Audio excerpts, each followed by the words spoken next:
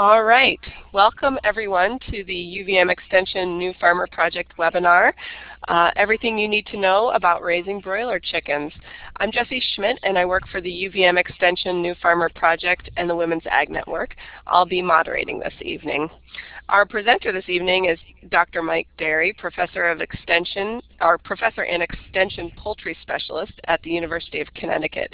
Dr. Darre is the lead Extension Poultry Specialist uh, for all of New England. He organizes and runs the New England New York Biosecurity and Poultry Pest Management Conference, and much of his time is also devoted to providing information and help to small poultry producers. So we're lucky to have you with us, and welcome Mike. Thank you very much, Jessie, and I appreciate the people up in Vermont sponsoring this, and welcome to everybody who's on board tonight. I've only done a couple of these webinars. I'm used to speaking to live people instead of looking at a computer screen and talking to it, so if I sound strange or, or say something funny, go ahead and laugh, just say ha-ha in the box, and we'll, it'll make me feel better. anyway, uh, if you look at the title, I said almost everything you need to know about raising broiler chickens. There's no way we can go to everything in an hour, and there's no way that I could say I know everything about raising broiler chickens. Um, I know enough to be dangerous, so, as they used to say, but uh, I'm going to pass on as much information as I can. A little more background about me. I've been here at the University of Connecticut for 31 years. I got my uh, degrees in animal science and environmental animal physiology at the University of Illinois, and uh, I've been at the University of Connecticut here as the Extension Poultry Specialist, I say for 31 years. I also teach an introductory animal science class. I teach the poultry science class here, and I also teach a class on um, behavior and training of domestic animals. So I keep a little bit busy. Recently, along with Dr. Richard Brzozowski up in Maine, we've been doing some training of other people to learn more about being poultry service providers through a uh, Northeast SARE project. So hopefully we're going to extend some of this knowledge out into uh, more areas throughout New England. So if anybody is interested in learning more about being profitable in their poultry business, uh, let us know because the SARE project, that's their, their main goal is to do things like that. Um, okay, I don't know what's going on with our picture here. hold on, Mike. It looks like someone uh, hit the application sharing button. So yes. you have to be a little careful with uh, what buttons you're pushing here. Let's see if I can get mm. this screen to close. Hold tight. Yep.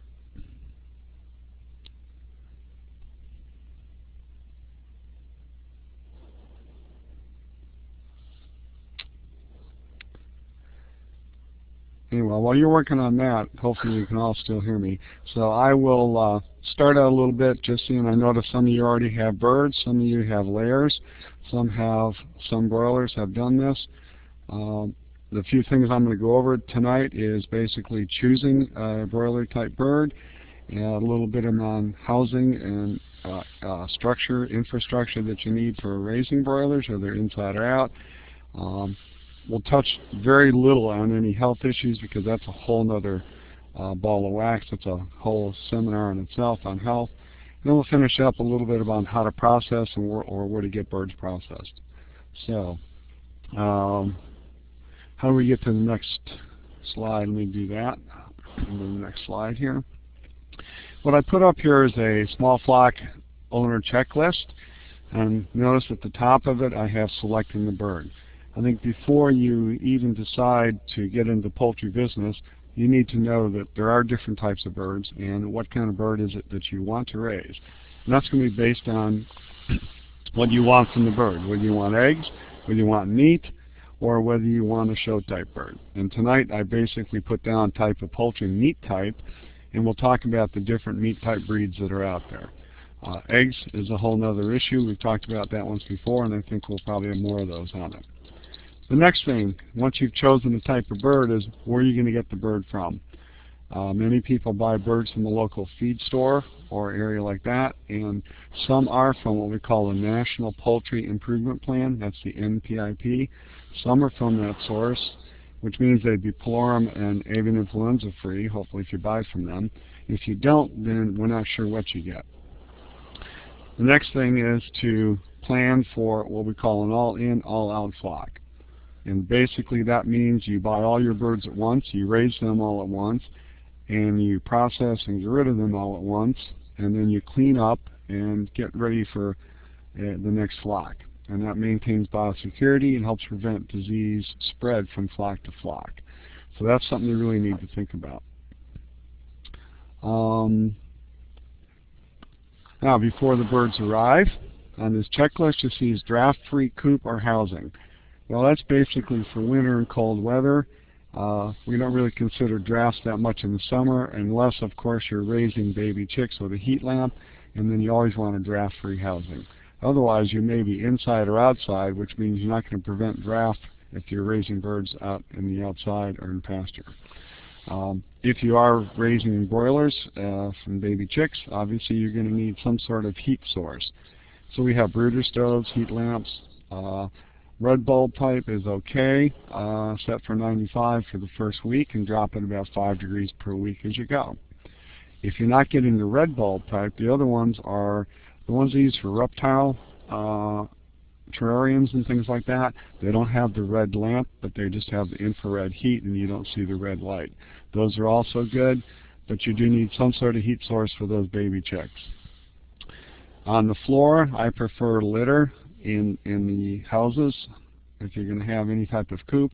And I prefer the pine shavings, and the reason is wood picks up moisture and re-releases it very easily. It's easy to clean, easy to compost, and it doesn't get as moldy as if you're using some sort of hay or straw as your bedding. Uh, but that's again up to you. If you have an access to really inexpensive hay or straw and you're willing to clean it out every couple of days and prevent the mold, that's not so bad if you can clean it out. It's just a lot of work. Roost. Birds like to roost, even broilers. Now broilers don't need to roost too much, so about 2 to 6 inches above the ground is, is about all you'll want to do for a broiler bird, and something round. I like clean tree branches because they're round, they fit the feet, and it's much more uh, ergonomically suited for these birds. And of course feed. Appropriate for the age, and we're going to talk about that. A lot more on the checklist. These are hopefully common sense things, but check for symptoms of disease, and I listed all those here. Make sure you provide water for your birds prior to giving them feed. The reason for that is if they've been shipped in, sometimes the birds get what we call pasty butt. And that's where they, the manure is fairly dry, and it actually dries on their vent before they're able to uh, make full excrement of it, and it sticks to them and actually works like a plug. And then you have to get a warm washcloth with some warm water and dampen it first. Don't just try to pull the plug out because you will pull skin with it. And I don't think the chicks like that. So put some moisture on it, soften off that, that bit of manure that's on their butt, and then clean it off so that they can let manure out. Um, sometimes if they've come a, a long distance, they may need a little more extra energy, and this is about the only time they can use table sugar with a chicken. You can give them a 5% sugar water solution for the first day, which gives them a little boost. Works pretty good for them. And again, checking your waters, feeders, and stuff.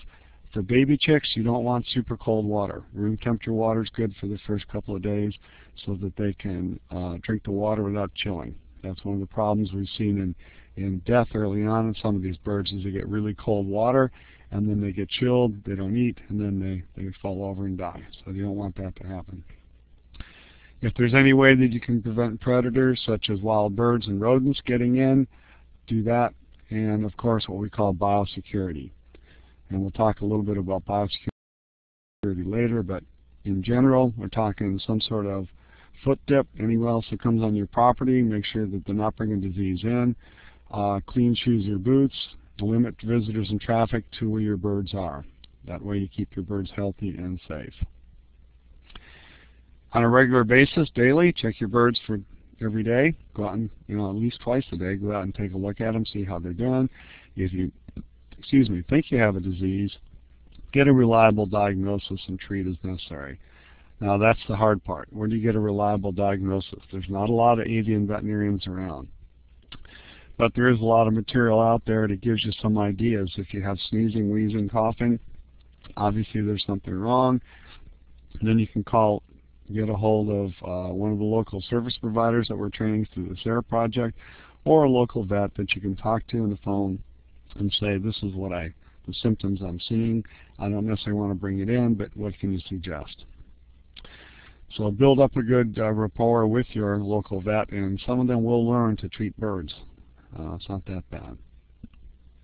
And again, I, if you're keeping birds for a long period of time, you want to establish a regular deworming program for broiler type birds are not going to be around very long. This may or may not be an issue. Uh, and the rest of it is pretty common sense. Proper disposal of your manure. Composting works fairly well, but again, don't necessarily let your birds go hang around your compost site. Now let's get into choosing a breed. Um, okay, I noticed that there's a question here. Should food be removed from the chicks at night when they're under a light to prevent overeating? Broiler chicks can have food as long as they want it. They won't necessarily overeat because that's what they do. Uh, especially range birds, they're going to burn up energy running around on the range. But for babies, for the first few days, they really shouldn't be out on the range anyway. Uh, but food, feed and water. Once you give them the, the first bit of water, after a couple hours of letting them just have water, then you provide feed for the birds, and they can eat on a regular basis. So they should have fresh feed and water 24-7 while they're growing. So let's talk about choosing meat breeds. This picture here is basically your Cornish cross. Uh, some people do try to range them, and some of them will do okay. Some of them, they get pretty heavy, pretty fat very quickly, and uh, they don't tend to want to walk much. So you want to make sure your feed and water are close to each other and close to the birds. They're not the best range birds because they're very fast growing. So we'll talk about some other ones, these hybrid varieties, the reds, barred, silvers, and some of the other what people call the dual purpose birds, the barred rocks uh, and others. So some of the colored feathered type birds like this, the Freedom Ranger. I'm sure many of you probably had Freedom Rangers or tried them or, or heard of someone that had them. They're becoming a very popular range type broiler or pastured broiler bird. They take a little bit longer to grow, anywhere from 7 to 10 weeks to get your 5 to 6 pounds on them. But because of the slower growth, you get a little bit more uh, flavor to them and you don't have a problem with them going down on your legs. They can get some good legs under them before they get too big. Uh, this JM Hatchery is one of the places that sells the Freedom Ranger. I think they, they consider themselves the inventor of it. But uh, So I put the information here, and you can call them by at 717-336-4878. That's how you can order from them and find out when they're available. Last I heard, they were selling out very quickly. So if you have interest in the Freedom Rangers, go check them out. And here's what uh, one of the people said about them, that he fed a lot of feed to them and ended up with a uh, three and a, about 3.17 pounds of feed per pound of gain. Uh, not bad for a range bird, but when you consider the Cornish cross in a commercial operation would get about 1.8 pounds of feed per pound of gain. It's a little bit different. And this picture he showed me the variation he got on his range birds. Uh, you can see that the one on your left is pretty good meaty, nice looking one, whereas the one on the right looks like it wasn't eaten too well and not doing quite as quite as well. Looks more like a uh, dual purpose barred rock or something that's being processed for meat. But if you take care of them, you can maintain your uniformity. Uh, this guy wasn't doing very good for uniformity. Then there's the red broilers. There are people that are importing these type of birds from France and using them here in the United States. Uh, they call it Les Belles Rouges in France. They grow to about uh, five, five and a quarter pounds, a little bit over five pounds in about 12 weeks, so they're a lot slower. Uh, obviously, the Cornish cross can do this a lot quicker. This is a longer uh, breasted bird. It's uh, looks kind of like a uh, one of our domestic barred rocks or Rhode Island red type with a little bit of broiler in them to end up getting the meatier but also the longer leg birds. So they are pretty good. They're they're even very well on pasture and range birds. So that's what people do. Um, you can get these birds, uh, some of the red type, they call them a red ranger, uh, MT, Mount or MTDI Poultry Farm and Hatchery. So I put this information up here so you can see. Again, they are a uh, NPIP hatchery that I noted that I uh, noted earlier that you want to get from. So they're Salmonella pullorum free and typhoid uh, clean, and they're avian influenza clean. So you know that you're getting good, healthy stock to start with. They also sell at this uh, MTDI Poultry Farm and Hatchery, they sell a Cornish Cross, a Red Ranger, and what's called a Rose Ambrelle. And I'm going to show you what these birds look like next. The Rose Ambrelle is, is a relatively new bird. Um, it's offered by the hatchery. They're grown to about 8 to 10 weeks. Again, that brings them somewhere between 5 and 6 pounds live weight. And you can figure about a 75% dressing percentage. That means 75% of your live weight will end up as your carcass weight, which is uh, pretty good. That's what you're looking for in these type birds. It has uh, a good benefit of the red broiler with faster growth than the red, but a little slower than the Cornish. So they they do a little more efficient, and they're really good in this this area here, especially for pasture range birds too. Here's some uh, baby chicks of that that breed. Uh, they say it's fairly profitable, uh, and it has good disease resistance. And uh, the people that are growing them, I've never eaten one, so I don't know personally if they taste any better. Uh, but the people that are growing them seem to like them and seem to be in market for them. So if anyone is growing these and they want to make a comment about it, throw it up there and we'll let everyone else know what, what you think of them. Then of course, if you want to get more of a commercial type bird, this is what the commercial industry grows. This is a Ross 308 broiler. This is probably the most popular bird in the world as far as uh, broilers grown right now. Uh, the Cornish cross, they're very quick. We can get in most commercial operations, they're raised to about 5 pounds live weight in under 6 weeks, somewhere around 38 to, to 42 days. Um, another hatchery in the area, Moyers over in Quakertown, Pennsylvania. They have, again, their Cornish cross. They call it the Moyers Broiler Roaster, and uh, it's a pretty good bird.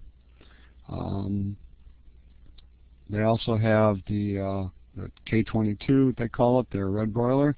It's only a male bird because this is uh, a selected breeding bird. It's a little slower than the Cornish, but it does a pretty good job. So you can get five pounds around eight weeks, which is a little better than the others going to 10 to 12 weeks. I know some people also, they grow what they call the kosher kings, and um, they're good birds too. There's a lot, I said there's a lot of different breeds out there that do a pretty good job. Uh, Stromberg's, chicks and game birds, that's another hatchery that does pretty good. Um, the red broiler from Stromberg's is, is pretty similar to all the other ones.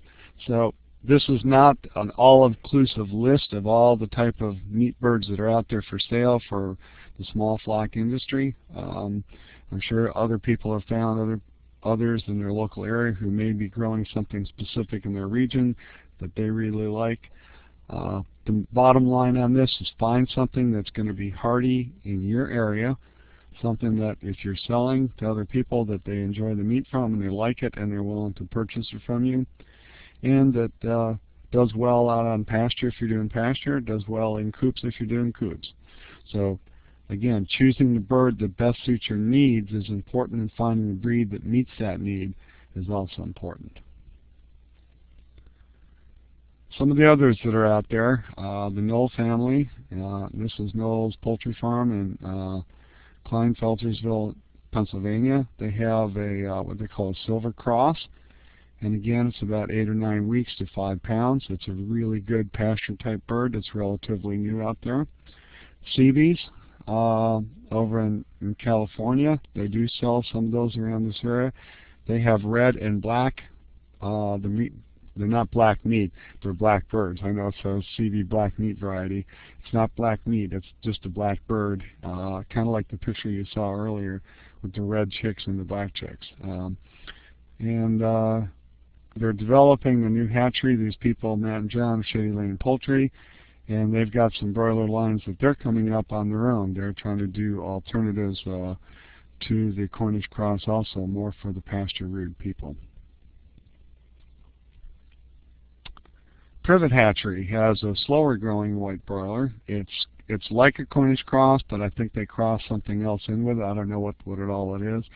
Uh, it's kind of like a dual purpose, and I say the dual purpose means that they're used for egg laying, and then at the end of the cycle you want to use them for meat because they're a little heavier than a white leghorn, which weighs next to nothing. Some of the red and gray broilers are also good for range rearing. They're right here in New England. You get from Yankee Chicks or Hall Brothers Hatchery here in Connecticut. Gourmavian Farms, Gary Proctor here in Connecticut is selling some of the red broilers. And some other birds can be ordered, uh, if, if, anyone out there knows, uh, Mr. Morris Burr, also in Connecticut, he's a, he's a broker for all types of poultry, and he can get you pretty much whatever you want. If you want layers, if you want broilers, if you want turkeys, ducks, geese, Morris Burr's the guy to go. If you're not satisfied with any of those and you want to know where the NPIP hatcheries are, I put this listing up. Again, not a complete list. This is just some of them that are out there. Uh, Townline Hatchery, Mount Healthy, a lot of people are using that. Belt Hatchery, Estes Hatchery, these are some of the ones that uh, small flock owners are, are using to buy their, their birds from.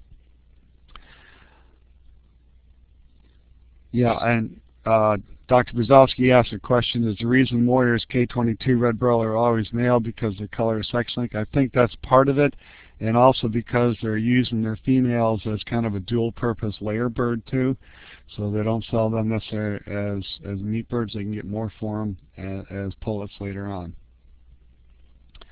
So let's get on to what it takes to um, really raise a bird. What are the basic needs for your, your broiler? Well, think about it. They need fresh feed, they need fresh water, they need fresh air. They do need light and darkness. Um, people think in the commercial industry they're running them on 24 hours of light and and that they're just uh, force feeding them all kinds of stuff. Well, that's not really true. Most of the broiler producers out there, they start them out on 24 hours, which I don't agree with. I think they should be on 23 hours of light to get started. Always have one hour of darkness so the birds are actually adapted to the dark. Because when birds are on 24 hours of light, and then all of a sudden the light goes out at night, they're scared. They don't know what's going on. So make sure they always have at least an hour for the first week or two. So about 23 hours of light is good for the first four or five days, really. And then you drop it down to about 20 hours of light and 4 hours of darkness. And then you can bring it down to even 18 hours of light and um, the rest darkness to make sure that you end up with good growth, slower growth, because you're not pushing them. You don't need to. For those that are going pasture if they don't want to do any supplemental lighting, that's fine too. It just slows them down because they don't eat as much in the dark. Thermal environment. Again, we talked a little bit about that for the baby chicks. You want to make sure that you start with an ambient temperature underneath the heat lamp of around 95 degrees. And I say around that because watch your birds. If birds are all huddled up underneath the heat lamp, they're too cold. They're too, excuse me, they're too cold and they're looking for heat.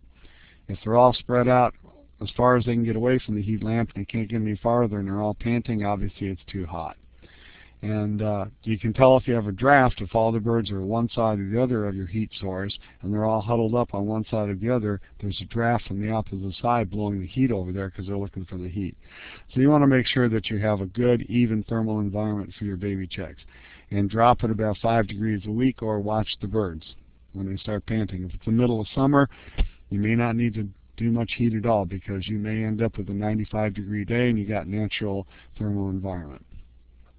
Protection, very important. You want to protect them from all those predators and from each other so you don't have fighting going on. Um, so you want to make sure that you don't overcrowd your birds because if you overcrowd, you're going to have fighting. That's where the space comes in. Adequate space. And people say, well, how much space do I need? Okay, if you're in a coop, you know, then you want to make sure you have about one and a half to two square foot per bird. And in that one and a half to two square foot. That includes the, the space taken up by the feeders, by the waterers, and some roosts if you're going to put them in there. Okay, so they have plenty of room. If they're outside, That depends on zoning in your in your region. Some of them will allow up to 50 to 100 broilers per acre. You might not want to go over that because it'll overgraze and it'll scratch it up. If you're just making an outside run in your backyard, then you want 5 to 10 square feet per bird in a run for broilers, and that gives them adequate for running around. Works pretty good. Feeding. I can tell you feeding in just a few short words. Buy bagged feed. Now some of you may argue and say, well, I want to make my own feed and I want to do this and live off the land. That's fine if you can do it. Uh, it may be a little more expensive. The reason I say bag feed is because the nutritionists that work for these feed companies know what the formulations are that are required for birds at the different ages. So they're complete rations, and I'll show you some of these in a little bit. They have all the vital nutrients that the chickens need in every bite. If you are going to mix your own feed, there are formulations out there, and I'll um, I have some references at the end of this where you can look up and how to mix some grains, and I have some couple of formulas there if you're going to mix your own grains. But again, you want to make sure that you have the proper amino acid balance and you have the proper vitamin and minerals. One of the advantages of bag feed is that it's all there. Now, don't just buy any any bag feed. Buy quality from a name brand because when it comes to chicken feed, you really get what you pay for. So, enough said on that. Let's look at feeding.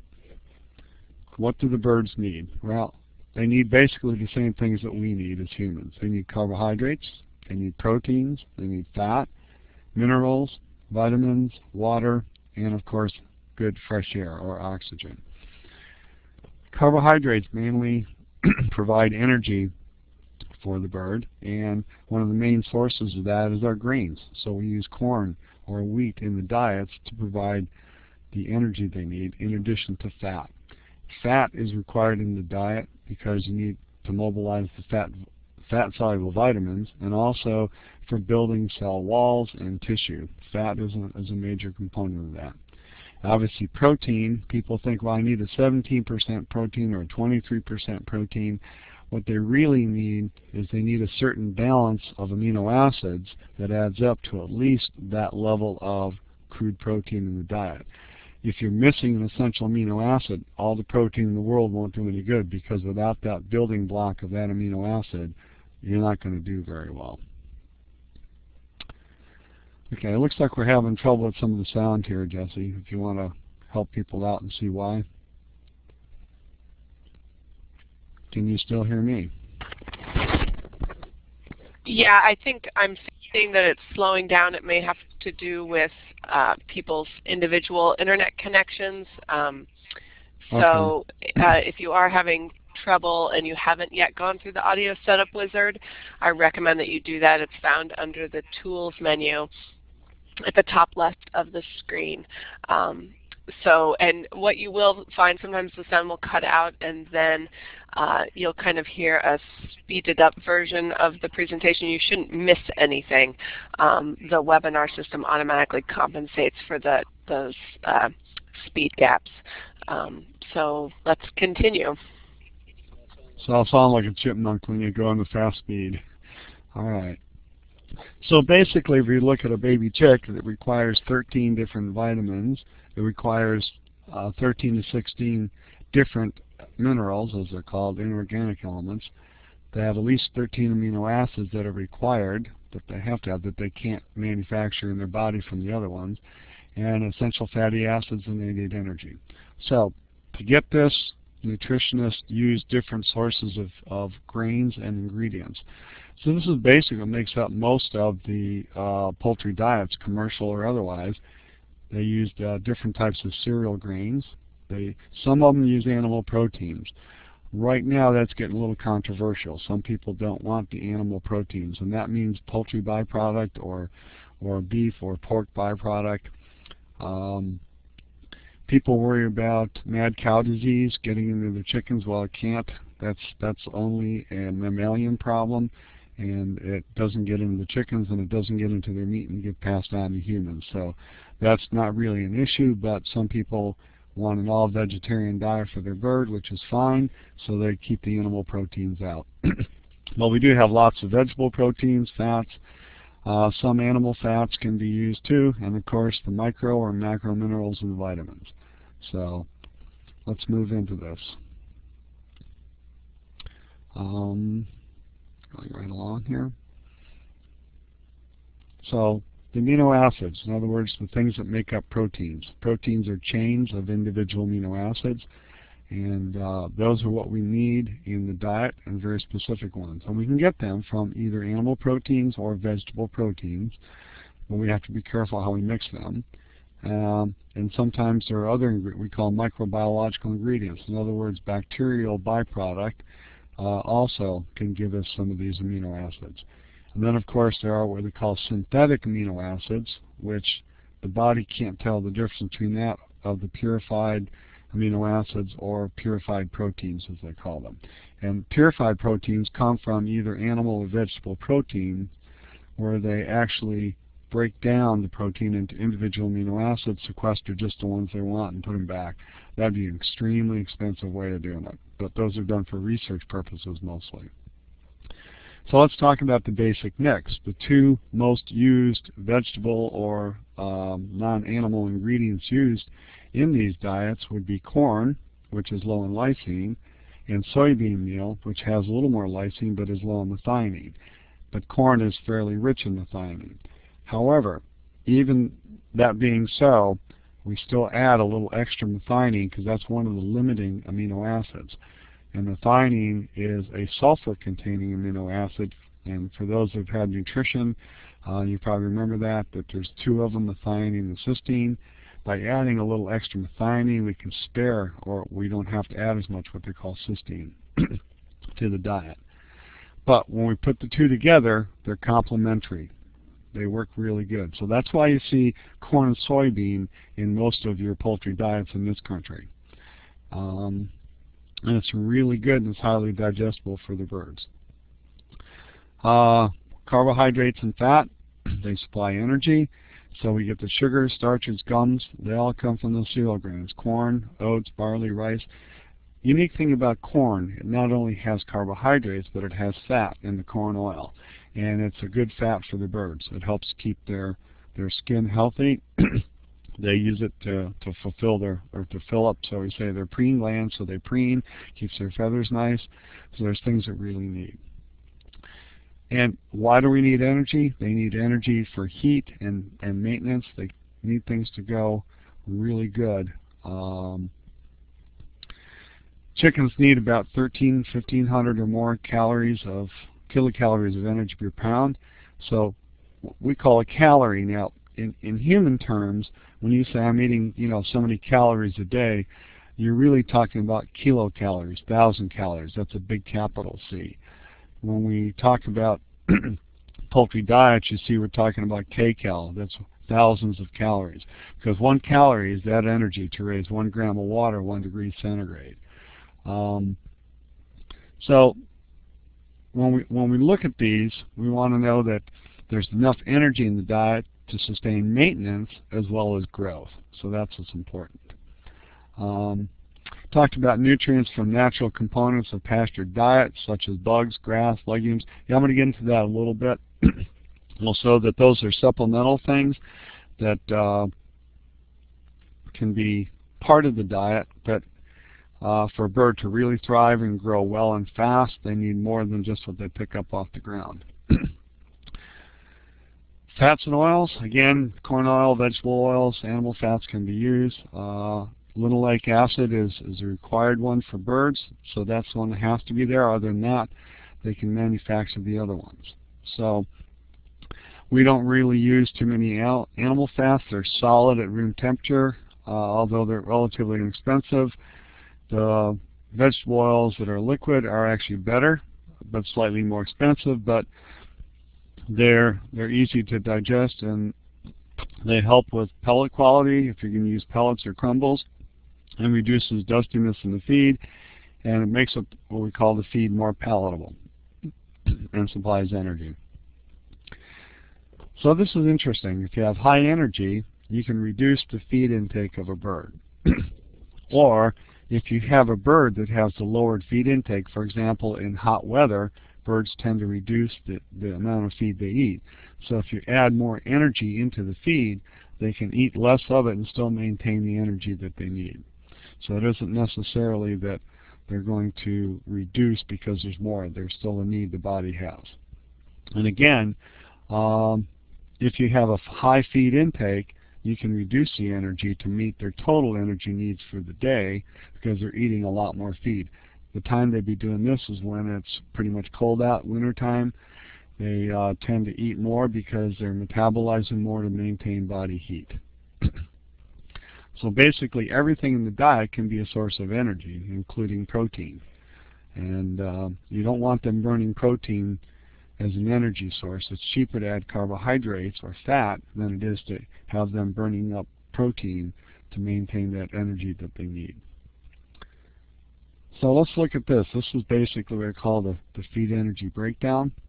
What they take in, if they can digest it, in other words, and break it down and metabolize it, okay, then they'll use it.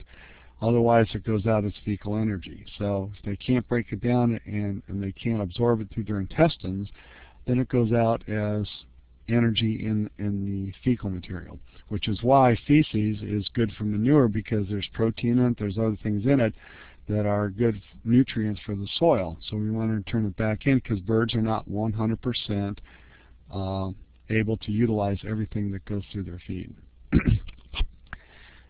Uh, I know some of these arrows got a little skewed. I think the the way the slide showed up here on the um, the way the slide showed up in transition from what I get sent to what's here, the arrows got a little moved. But the next thing is we call metabolizing. In other words, energy that's absorbed and that goes into the body. When they break it down, there's byproducts of that, and that's the urine and gas. And then you get what we call net energy. And the net energy that's left from the feedstuffs can be used for production or maintenance.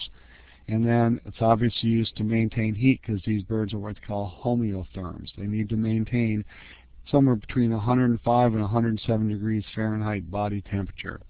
That's quite a bit of heat they need to maintain. So that's a little bit on energy. Vitamins, they need everything except vitamin C because they can manufacture the vitamin C. And they help with the reactions. So we have the two types, the fat soluble, A, D, E, and K, and you have the water soluble. Now the interesting thing about poultry, we can't just use any form of vitamin D. They require the D3, the cholecalciferol form of it. So it has to be vitamin D3 added to their diet.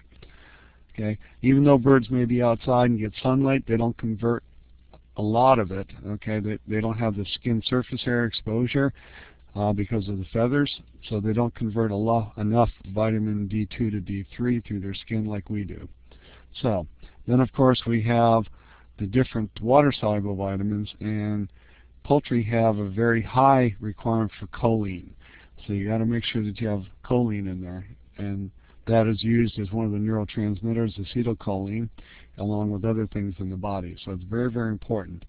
The problem is vitamins, especially fat soluble, if you don't have an antioxidant in there, they will be destroyed and they'll have no vitamin value. And the water solubles, again, they get weak over time and so time, temperature, and humidity will destroy vitamins. So you want to make sure you have fresh feed, meaning less than two months old in, that you're feeding the birds. Because as it starts getting older, you start losing some of the vitamin value. Uh, these different macro minerals, in other words, they need fairly large amounts in the diet. So when we blend diets, we not only look for protein, energy, okay, and fat, but we're also mixing for the proper amounts of uh, minerals. And usually, if you're going to mix your own feed, then you want to buy what we call a vitamin mineral mix that you can add in because it's very hard to get all these uh, vitamins and minerals from uh, other ingredients that you may just be growing locally. So again, there's quite a bit of stuff in feed. So what's the objective here? The objective is to start your birds out with a fairly good growth early on. Baby chicks have very high requirement for protein. So therefore, usually the chick starter diet, they're around 24, 23% crude protein with the balance of amino acids because they're putting on lots of muscle, muscle tissue at a little faster rate than they will later on. the rate of accretion or, or the rate of growth of muscle slows down over time. So you want to make sure you have good energy to get started with. Okay. Um, depending on what your final body weight is, you probably want to get somewhere around 150 to 170 grams um, on your on your bird in the first week. So we're talking somewhere about a little over a, a quarter to a half a pound, somewhere in that range, depending on the breed. Okay.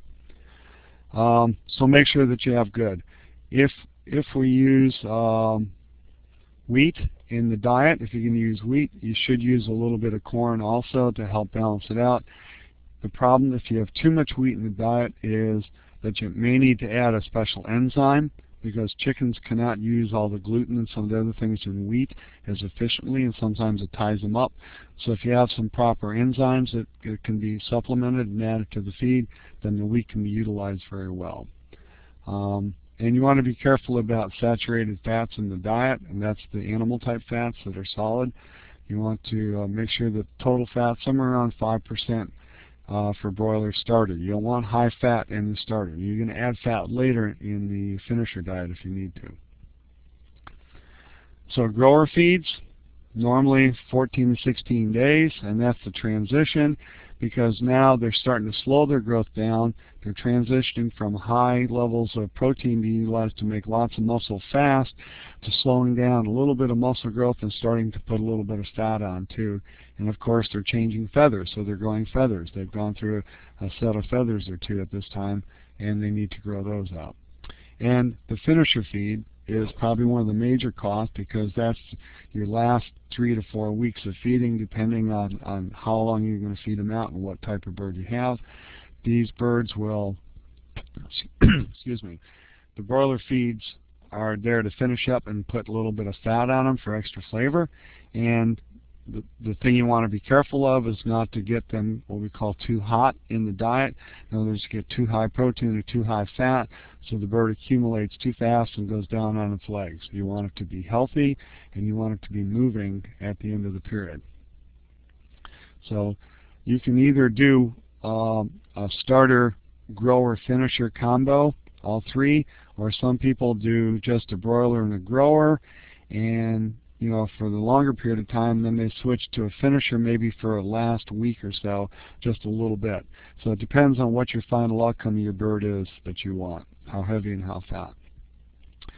Now, I don't expect everyone to sit there and look at this chart and memorize and understand a lot about what's going on here, but this is basically showing you what a uh, starter, grower, and finisher diet as far as amino acid contents and digestibility should be. And this is what nutritionists look at, um, and this is what the commercial breeder companies that are making these broilers for you, the ones that are producing the breeders, uh, they get charts and they test and they say, well, this is how our bird's going to grow well if this is what they're fed. So this is basically what they're looking at and saying that these are the the requirements that will make them meet the ideal growth for this type of breed. So you can look at this one. But this is what some diets really look like. This is some of the ingredients you can put in. Um, showed a couple of different options here to show if you're using corn, wheat, barley. Uh, again, soybean meal is used in pretty much all of them, corn would be used in all of them, again, because it balances out with the soybean meal, like we said. Some people use a meat meal, or if you're not using meat meal, other people are using fish meal now. Uh, fish meal is, is very good because it's high in omega-3 fatty acids, which again is good for us, it's good for the bird too. So you can substitute in uh, a, a fish meal, which would be somewhere around 45. And this percent behind soybean meal and percent behind meat meal here means that it's 48% protein or 50% protein. Um, and then there's fat. Limestone and calcium phosphate, they're put in the diet to add your calcium and phosphorus. There's something important to get in here, and you need to know is that you need a good ratio of 2 to 1 calcium to phosphorus in your poultry diet. So if you're mixing at home, make sure you get that 2 to 1 ratio. The reason for that is calcium and phosphorus are used in bone uh, growth as well as muscle. You need calcium for proper muscle growth and transmission of uh, the neurotransmitters and, and everything in the muscle, and you need calcium. Obviously, if you have a layer bird, quite a bit of calcium. But for your for your broiler birds, if you want good legs on them, you need that good calcium phosphate ratio. So make sure that goes in. Now, one of the things about some of the bugs, like crickets and um, using um, roaches and some of the bugs that they'll get in the ground, they actually leach calcium in the diet and bind calcium in the gut. That's why you want to make sure they limit how many of the bugs they get and how they eat them and make sure that you have a good calcium uh, source in your diet so that you don't end up with this uh, problem. It's a, it's a leaching problem. And not only does it happen in, in poultry, but it happens in lizards and things like that. Uh, people have iguanas that uh, they're feeding lots of crickets and bugs to and end up with calcium disorders or end up with calcium and vitamin D rickets in their birds because, or when they're iguanas, because they're being leached out. So if you look at the analysis here, it says calculate analysis down at the bottom here. Um, got crude protein. You start out with a starter here. Example is about 22%. It drops down to either 21 or 20% when you get in the grower, and down to 18 to up to as low as 16% uh, in your finisher diets. Again, because by the time they're a finisher, they're not putting as much muscle on as much as they're putting on fat.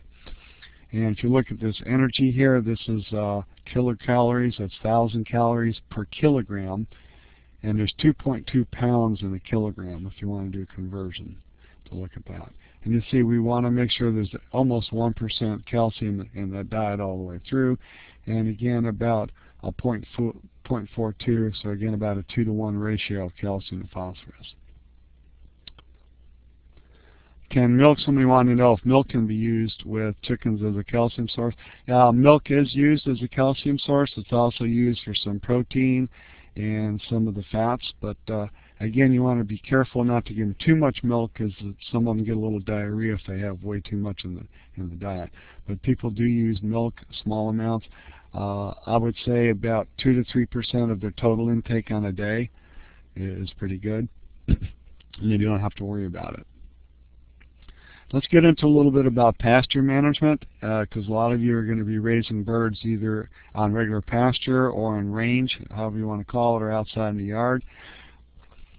Alfalfa is a, is a really good source uh, of nutrients. It's, it's a high protein type of grass. However, in New England, we have pretty acid soil, so you're going to have to do a lot of liming if you want a really good alfalfa crop. Uh, as a replacement for alfalfa, the Ladino clover has been found and really good. And it's also a high protein type of uh, grass that can be fed for poultry, and the poultry like it. It's highly digestible. So there's some combinations here. Um, and I'll show you some different mixes here in a second that you can use in pastures that work really good. They've been tested. And these are things I, I, I found that they're using 60, 70 years ago when almost all the broilers are out on pasture and they're working good trying to get them to grow. So any of the clovers are pretty good. The white or red clover and Ladino work good. A little mix of orchard grass, Kentucky blue, ryegrass, and alfalfa works really good. What we found though is they only get somewhere up to maximum about 15 or so percent of dry matter for their diet from pasture. Uh, a turkey may bring in a little bit more, maybe up to 25, 30 percent, but basically you can't just figure your bird's going to eat grass and survive or, or it's going to go out and eat grass and it's going to eat weeds, it's going to eat bugs, and it's going to grow well. It just isn't going to do well when you do that. You really have to have a, a supplemental feed source and figure that about 15% of their intake will be from the grasses and the pasture and the rest has to come from your, your complete feed. Um, so this source, you can go look at Free Range Poultry Com. They'll talk about more more information on poultry management. This is some mixtures I found out of a, a 1947 book called uh, Profitable Poultry Management, and uh, it was one of the hot books of the day. It had gone through several revisions from about 1920 to 1947, and all of them kept increasing or improving on what type of uh, pasture mixtures. So Cornell University came up with this pasture mixture that still works today, works pretty good. And this is on a per acre basis. They would mix 12 pounds of Kentucky bluegrass, 6 pounds of perennial rye, and two pounds of uh, Ladino clover. And then some of the other ones over at Penn State, they had a little bit more of a uh, diverse mixture in there, but pretty much all of them are adding a couple of pounds of Ladino clover to their mix, and it works pretty good. Uh, the other one here from University of Maryland, uh, again for the soils and type they have down there, looks like the bluegrass and Timothy work good, but again, the Ladino's in there because it increases the amount of protein. So these are all some good samples of what I would say good pasture mixes or seed mixes to use on your pasture to range birds. Uh, here's some other ones that are being used recently. Uh, I found some some good seed mixtures here that are more from the 80s and 90s that people have been trying. Uh, some of these are from different parts of the world, so if you know what some of these plants are and you can find them, you want to try them, go for it too. Um, uh, one of the questions here is about can a producer provide limestone calcium phosphate free choice to the broilers without worry? Um, some people have tried that. I don't think that, that birds have what we call nutritional sense. In other words, how much they're going to eat and when they're going to eat and how much they get. What people have done for a little bit of calcium is use oyster shell. They usually use that for the layer birds when they're having shell problems with their with their eggshells.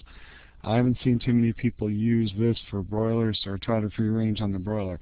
The problem with the broilers, once they get big and they get a little slower moving, they don't tend to want to go out and, and just hunt for the minerals that way. They do get some from the soil, but it isn't the same mix. So I, I prefer getting a good mineral mix into your feed if you can. So I wish there was an easy answer for that, but there really isn't. Um, so this this table 4 mixture was a representative of what they call the robust pasture mix. It works pretty good.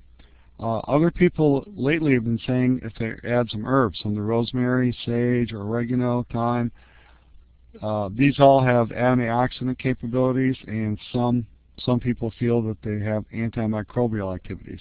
So if you're going organic, many of the organic poultry growers are using some of these herbs to offset uh, what they can't use in medications, and it seems to work pretty good.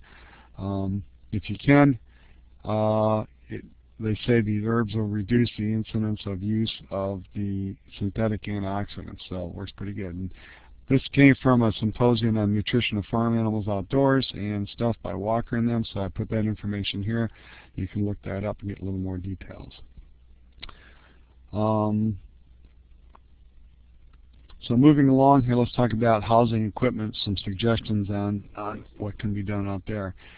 What you use depends again on the type of ring management that you want. Conventional would be totally enclosed mechanical or mechanically ventilated facility. That would be a commercial broiler house.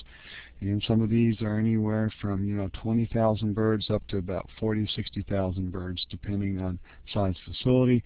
They don't usually get them much bigger than that because then it's hard for a worker to go through and, and check birds and maintain health and quality on those birds excuse me, a lot of people now like the pasture pens as they call them, or chicken tractors.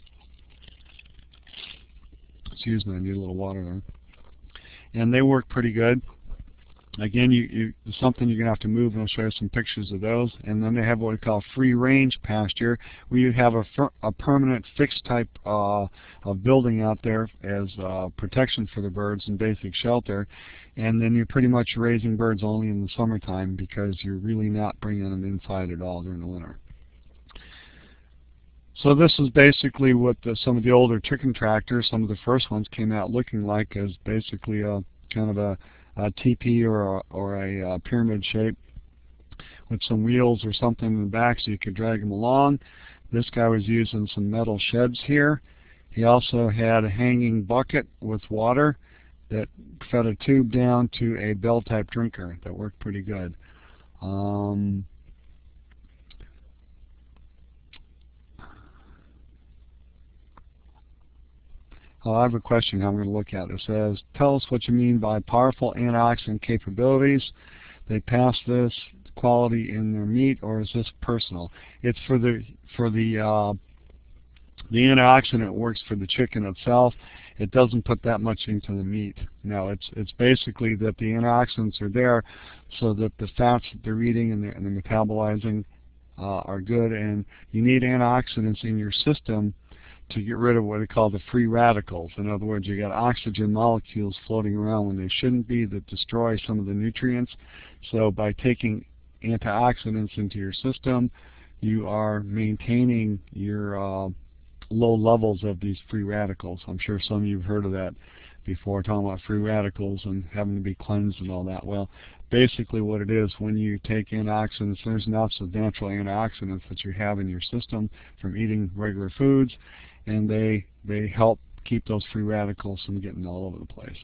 Um, the other question, is it really worth raising broilers through the winter months in New England uh, inside? Uh, if, you, if you're willing to put heat in and you have a well-insulated house and you can get a market for your birds, if you're selling broilers at $6 a pound, then I think you could probably raise them year-round and, and do just fine uh, if you have people that are willing to buy them. Um, Got to remember that the, a lot of the broiler industry actually started up in this region with the high energy feeds that were developed at the University of Connecticut.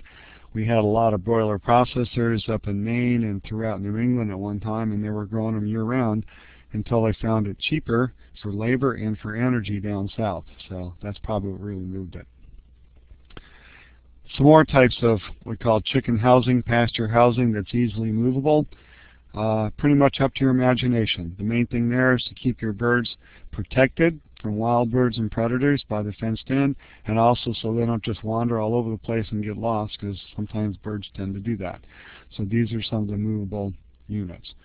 Um, depending on where you are, if you have pastures that that you want to move your birds in and you want to get your birds close to your house at the end of the growing period, the best thing to do is start at the far end of your pasture and start moving forward so that at the end of your growing period when your birds are at market weight, they're going to be closer to where you're going to be processing rather than having to walk all the way at the end of your pasture. So moving things around. This is kind of a setup that some person uh, came up with, which is a good idea, kind of a linear setup here. So he's got uh, some feeders. He's got his little uh, skid house that he can move around. He's got waters. And so the birds are all very close to everything, and they have some, some fenced-in range. Uh, as far as fencing around your range, a lot of people are using the electrified mesh that goes around. Works really good. Electric mesh fencing. That helps keep away some of the predators, not the aerial predators, but the ground predators. Uh, that works really good. Uh, it's worth the investment. Bottom line again, if, if you can do this for, for drafty periods, you want to keep them in a dry and draft-free environment during the during the cold months. Uh, in the summer, you want fresh air and lots of fresh air, and you want air movement when it's very hot. So if it's really, really hot out and your birds are panting, get a fan, put it on them. If they're still panting, go out and spray them with water and cool them down because they don't sweat. All they can do is breathe and try to cool off that way. So some feeding water equipment. I prefer the nipple waterers. The reason why, it's natural for the bird. Chickens do not have the ability to create a vacuum in their mouth. They have what they call a cleft palate, so there's a slit in the upper roof of their mouth. So look inside the bird's mouth and you'll see that there's that kind of a slit there and it goes right to their nasal passage. So if they try to suck, they can't unless you close off their nose, which they don't have fingers to close their nose off. So therefore, birds put put their beak into the water, they scoop it up in their beak, put their head up, and allow gravity to push water back down. So rather than having to go through that motion, a nipple water keeps their head up so the water can dribble down into their uh, esophagus the way it should, and uh, it works really well. And you can train birds to nipple real easy. Um, and you can make nipple waters that can be used out in pasture anywhere you want, and I'll show you some in a minute. Feeders, are very important. Okay, uh, if you look at the, the last slide again, we have a feeder here. This is a commercial house. Obviously, you got the feeder over here in the left side of the, the picture and the water on the right side. And you notice the, the feeder here is red. Uh, they use, and also the water has a red color to it. The birds see red very well, and they're also attracted to things that are, are different from what they in their surroundings. So they like things like that, and they're good attractors, and you're trying to get your bird to eat, so you want them attracted. These are other types of feeders. I don't recommend the long trough feeders because it's hard to raise them up when you need them and then they stand in them. The best thing are hanging type feeders, the circular feeders here, that you can hang and uh, put feed in and gravity feed and you can put covers on them like the ones for outside which work really good for range feeders. And then you can raise them up because the lip of the feeder should always be uh, level with the flat of their back as much as you can. One, it's easy for the that way the bird puts its head over and it's not throwing feed all over the place and if it does back into the feeder it's not making deposits where it shouldn't. So that's why I like the hanging feeders. Okay. Uh, this is a homemade feeder somebody made out of a barrel. He made some cutouts in here and put some little uh, head areas so the birds put their head in. So you push push the cutout back into the into the barrel there and then what happens is the feed doesn't just roll out. It's kind of like the uh, the gerbil feeders and things they have for uh, for cages and stuff works pretty good. So this this is a big barrel. Um, I think he puts holes in. You can hang it if you want. I I haven't seen this personally. There's a picture one I thought was interesting. If you want to go through that much trouble, I think it's easier to buy them. Waters. A lot of people like the bell type waters or the gravity feed uh, waters like this. Again, the problem with that is they're open. Dirt and manure can get into them, and uh, you have to keep them clean. The nipple systems work a little better. Um, here's a homemade feeder and water system this guy made. He took uh, a couple of big water jugs that's used for water coolers and cut them, and then put little feeder device on, on that one for the feeder, and then for the watering device he put some holes in it. Again, seems like a lot of trouble and the bird still has to put his head down. But here's what I prefer, the, the nipple waters. You can put a nipple, you can put up to four or five nipples on the bottom of a five gallon bucket. And if you want, you can actually get a small float valve and put it in the bucket. And you can put a lid on it, keep it clean. Just put a little air hole up on the side of the bucket somewhere so you don't get a vacuum created. And put the nipples in, and then you can raise the bucket as you need to as the birds get bigger. The advantage of this is you always have clean water. Uh, you just clean the bucket out once every couple of weeks to make sure no scum is growing if you have uh, the water sitting in. And the birds are, are getting it naturally and you're not giving a water source for rodents and other vermin because the waters that are on the ground are very easy for rodents to get into and get. They don't get the nipples very well. So that's feeders and waters and some of the basic equipment. One of the questions was up is when do I process my birds? Well, you process them when they hit the live weight that you're looking for to get the carcass weight that you're looking for. Remember I said it's about 75%. So if you use that as your as your average uh, on a good broiler, it'll be about 75% of live weight. On some of these slower growing, uh, more bony broilers, you're going to get more of a 70 to 72% dressing percentage. So when you think you've got the weight on them, that's when you want to process.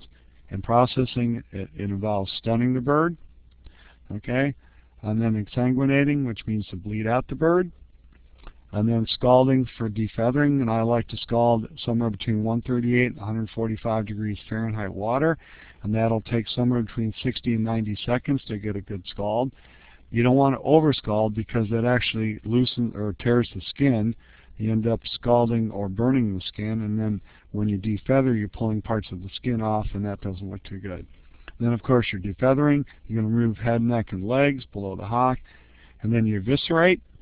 And uh, a lot of people, if they've seen the Joel Salatin or read their books and stuff like that, he does a lot of the, the open air and backyard uh, processing. If you keep things clean, that's what you really want to do, uh, and sanitary, uh, you can do a very good job. The best thing there is use lots of water. Fresh water flowing on your birds. Uh, dilution is the solution to keep salmonella and other organisms off your off your bird and keep them clean. So you eviscerate, you can save your viscera, put it in your uh, compost pile, and then you can use that for your uh, fertilizer for your property again. And then chill and package. So that's the processing steps. How to process depends. Uh, right now there's a movement for lots of mobile poultry processing units throughout New England.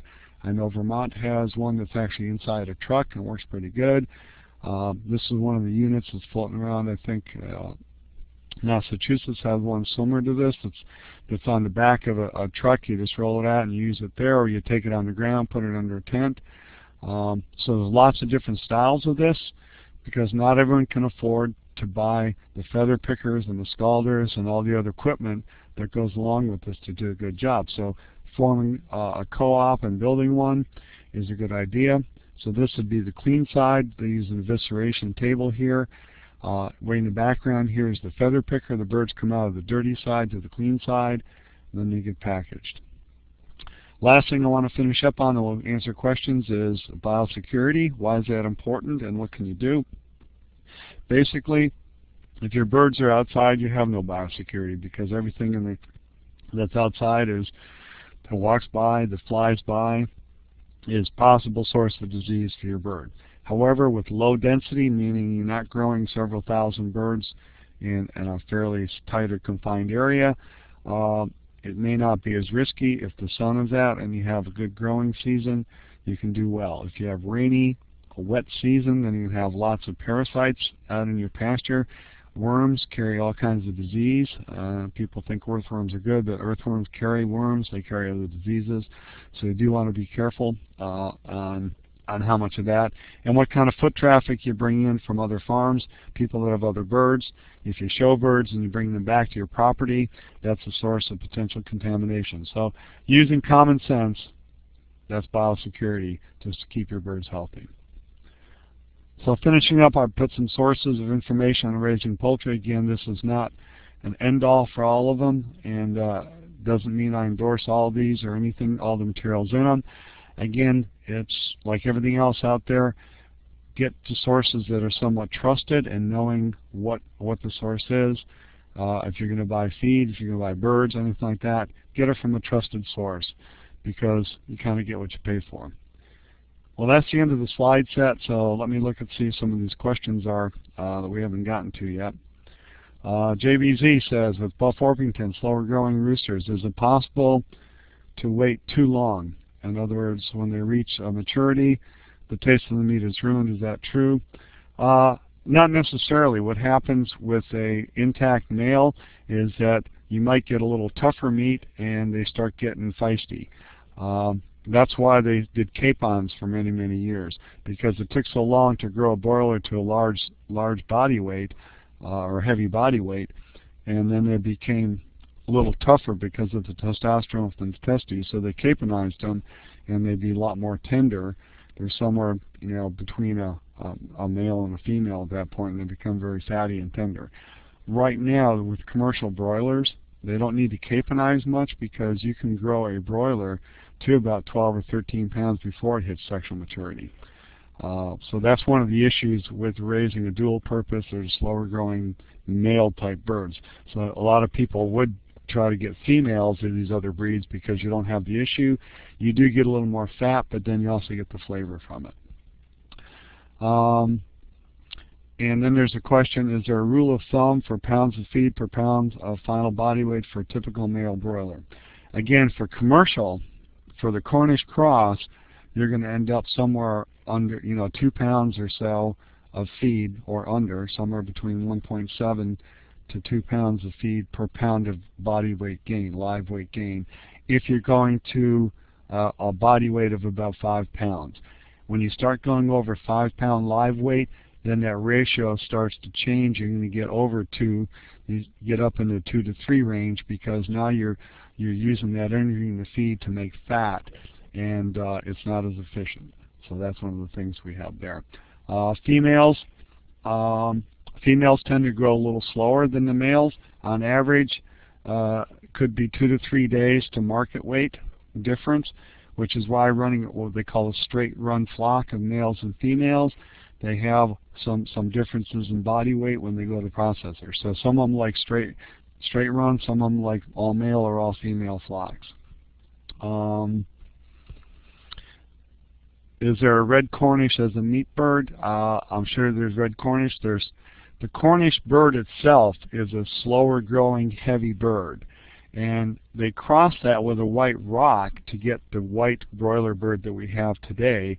Uh, the white rock put on a little bit, a little faster, um, body, it gives a little more body size. It changes the growth rate a little bit.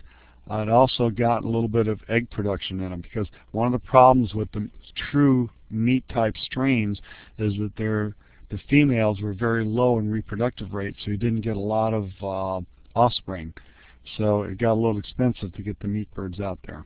But uh, the question is, should you withhold feed from birds 24 hours prior to slaughter? No.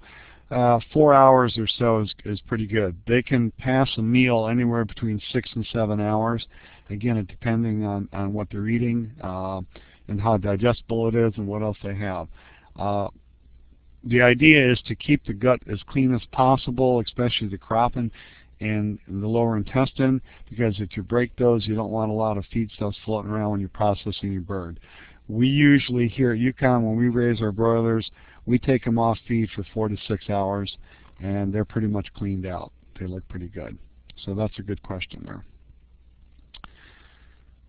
Any other questions? Put them out there. I know this is, is kind of a whirlwind. There's a lot of information here. But again, there's a lot of good good books out there to read and other other information and you can contact me through email and we'll try to answer questions the best we can. Um, so the next one, what size is best for the largest possible flock or batch while still being safe? Um, it depends on how much space you have and how, how big you want to go. Um, when you say large flock, we have commercial flocks of 30,000 birds. I don't think anyone's going to raise 30,000 birds on pasture out here in any one flock at a time because that's a lot to look out for and watch. Um, so I guess for, for Ben, how many birds do you want to do uh, and how much space do you have? Because, like I say, if you're running about 100 birds per acre, okay, which is really maximizing that, that's a lot of birds on that acre uh, you're going to have to do some some pasture management.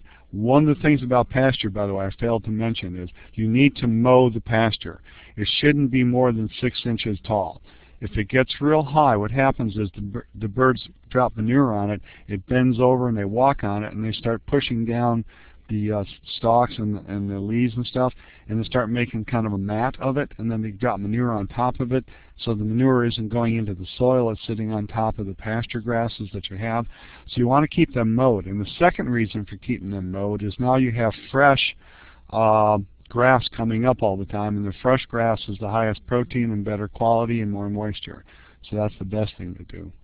Um, and the moderator asks, are meat birds inefficient eaters, i.e., will they eat more than their bodies can turn into meat if allowed free choice?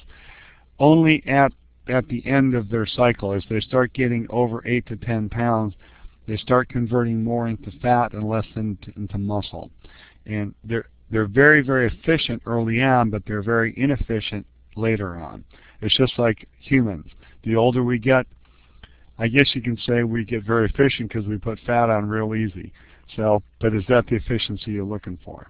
Uh, that's pretty much how birds do it, the same way. Uh, if allowed free choice, uh, you want to do free choice on broilers as they're growing because they need the energy and they need the feed to grow. Um, what are the top health problems for broilers being raised six to eight weeks of age? Uh, one, leg problems. If they're not if they're not managed properly, they can end up with hock or leg problems and go down on that because they don't tend to want to walk. Uh, in pasture-reared birds, when they start getting six to eight weeks, then you have worm problems because by then the worms are, are really getting mature inside them and growing a lot. So worming can be an issue. The other thing is uh, parasites, other parasites, lice and mites that can be out in pasture. Uh, generally, if you have good sunlight and, and the birds are in fresh air, you don't have as many of the respiratory problems, bronchitis, laryngo, coryza, some of the other respiratory diseases aren't as prevalent in a pasture bird if they have good fresh air. Um, so uh, again, we can. It's a whole seminar on health. I didn't really want to go in details on that uh, too much right now because that takes some time. What's the best way to minimize ascites? Slow the birds down. Don't grow birds up in high altitudes. Um, birds will get ascites. Uh, for those that don't know what ascites is, it means water belly.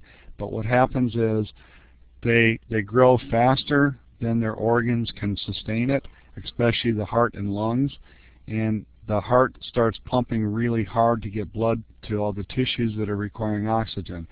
Because the muscles are growing so fast, they require lots of oxygen. The heart can only pump so much blood and the lungs can only put out so much oxygen, but the tissues keep saying, give me more.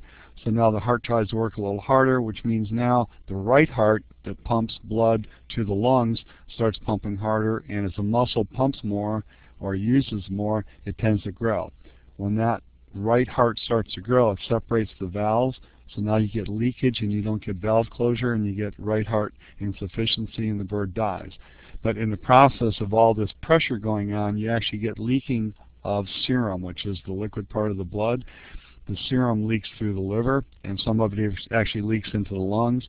So they die from, from suffocation in the lungs, and they die from pressure, uh, pericardial sac around the heart. And when you open them up, in their abdominal cavity, they're going to have lots of this yellowish looking fluid and that's a typical sign of ascites. So what you want to do is slow the growth of your broilers down. If they're getting too fat and you have any die, then you got too hot a mixture, too much protein, too much energy, um, and they're they're eating too fast. So then you can do feed restriction. In other words, reduce the amount of feed to do that. Um, Okay, what do we recommend to worm and organically raised birds? Uh, for deworming is what you want to do. I don't like to give them worms, ha ha ha. Anyway, you want to deworm them and organically there's not much they can do. A lot of people try to use diatomaceous earth or these a combination of a 5% vinegar using the white cider vinegar uh, in their water and then adding uh, the diatomaceous, the feed grade diatomaceous earth to help get rid of the worms. I'm not sure what else is working these days. There may be some citrus byproducts that are working. Uh, I don't know that much about it. Um, put email down, chat box. Let's see.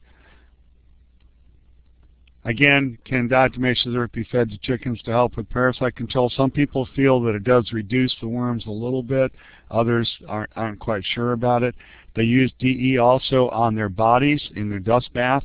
So if you're going to have them dust bathe outside to get rid of external parasites, DE works real good, along with the sand. I like a 50% mixture of sand and that DE makes a really good dust bath for the birds, so that works pretty good.